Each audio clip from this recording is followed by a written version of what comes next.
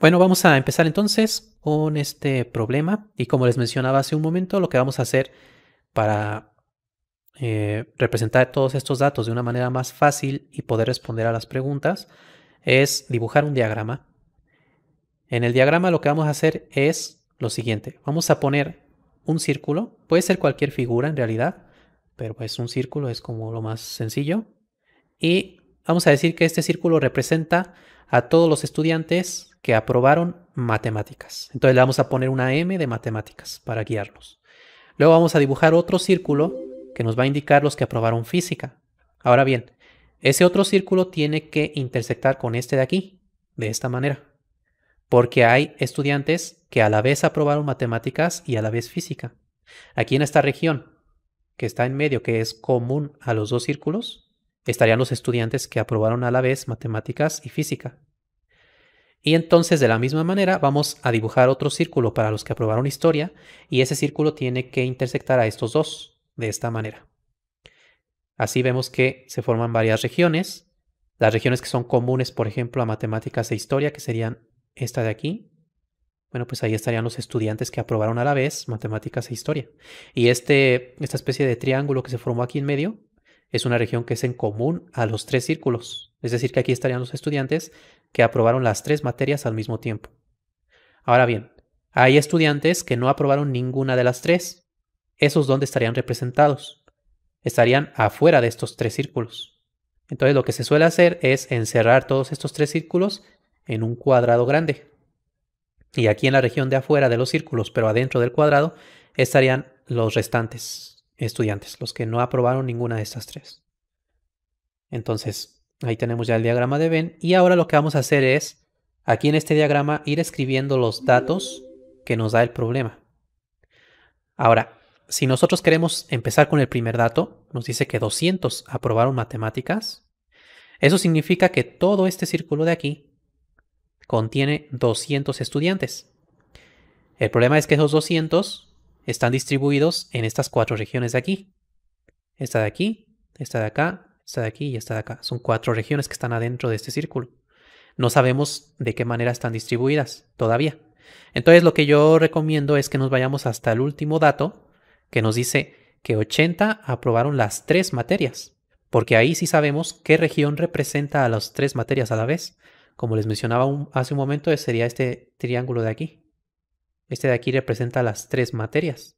Entonces aquí adentro hay 80 estudiantes. Vamos a escribir aquí entonces un 80.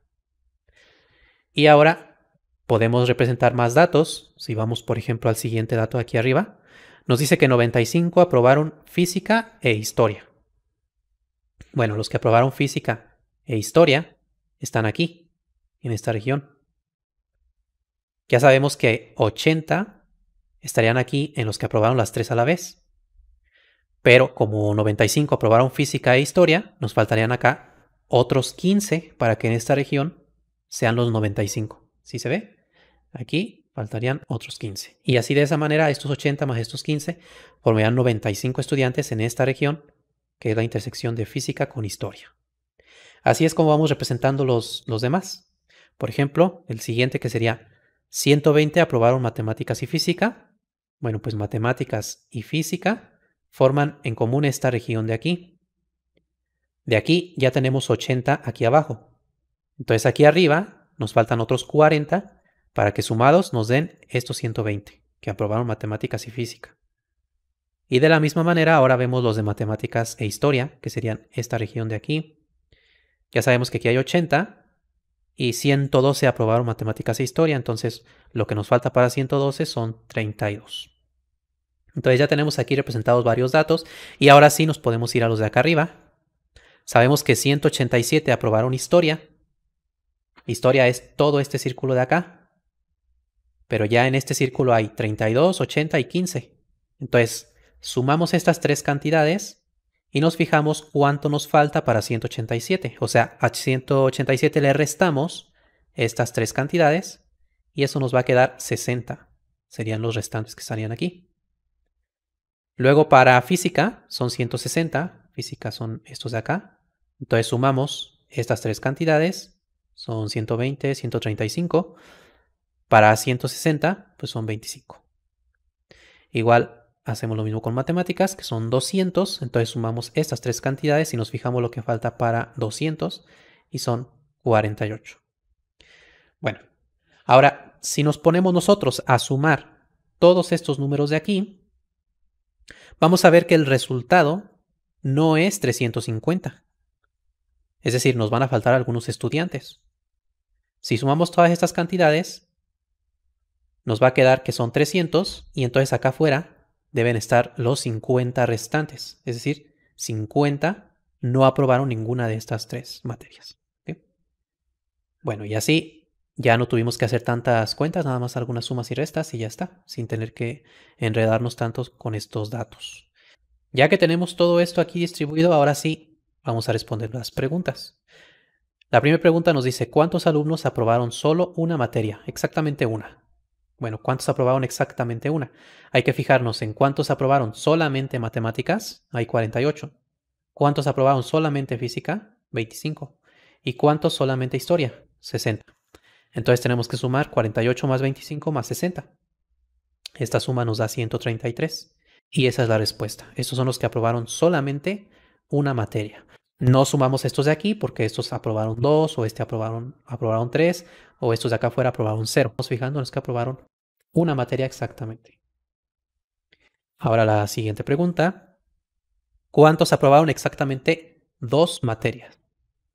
Bueno, estos 32 de aquí aprobaron matemáticas e historia únicamente. No aprobaron física. Estos 80 no los contamos porque estos aprobaron 3. Estos 15 sí los contamos porque son de física e historia, o sea, aprobaron dos. Y estos 40 también los contamos porque son de matemáticas y física. Entonces hay que sumar estos 40 más estos 32 más estos 15. Y eso nos da un total de 87. Bueno, la siguiente pregunta, ¿cuántos reprobaron las tres materias? Bueno, sí, ya lo vimos. Los que están aquí adentro de los círculos son los que aprobaron matemáticas, física, historia, dos de las materias o tres. Y los que quedan afuera no aprobaron ninguna. Entonces 50 reprobaron las tres. Y finalmente la última pregunta. ¿Cuántos aprobaron menos de tres materias? Menos de tres quiere decir que aprobaron dos o que aprobaron una o que no aprobaron ninguna también. Bueno, ahí, ahí podría haber un poco de debate, ¿no? Porque ¿cuántos aprobaron menos de tres? Podría uno interpretarlo con cuántos aprobaron cero o también se podría decir que los que aprobaron cero no aprobaron, entonces reprobaron. Así que esos no los contaríamos, ¿verdad? ya sería como cuestión de cómo interpretamos la... ¿Cuántos aprobaron menos de tres? Pues estarían los que aprobaron dos, una o ninguna. Entonces, sumamos los resultados que, que obtuvimos en, en los incisos anteriores, porque en uno nos preguntaban cuántos aprobaron una, cuántos aprobaron dos y, y cuántos reprobaron las tres, es decir, cuántos aprobaron cero, ¿no? Entonces sumaríamos esas tres cantidades. Hay otra manera de hacerlo también, que es más directa. Si solamente nos hicieran esta pregunta y no sabemos las demás respuestas, bueno, pues al total, que son 350, le quitamos los que aprobaron 3. Si le quitamos los que aprobaron 3, nada más nos estaríamos quedando con los que aprobaron 2, 1 o 0, porque no hay más de 3. Entonces, a 350 le podemos quitar los 80, que son lo que aprobaron tres, materias, y nos quedarían 270. Este es el resultado. O pueden también ver que si hacemos la suma de los resultados anteriores, 133, 87 y 50, vamos a obtener el mismo resultado, 270. Y bueno, así terminamos el primer ejercicio que como pueden ver era muy sencillo. Muchísimas gracias a todas las personas que me apoyan con su membresía en YouTube y en Patreon. De verdad, infinitas gracias por todo su apoyo.